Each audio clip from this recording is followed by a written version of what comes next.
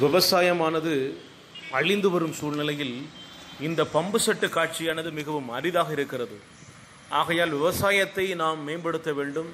இந்திய நாட்டினுடைய முதுகெலும்பை நாம் இன்னும் மேம்படுத்துவதற்கான அனைத்து முயற்சிகளையும் செய்ய வேண்டும். இந்த பம்பு செட்டு வீடியோவை முழுமையாக பாருங்கள். இந்த பம்பு செட்டானது விழுப்புரம் மாவட்டம் கந்தரக்கோட்டை புலனூர் என்கின்ற பகுதியாகும்.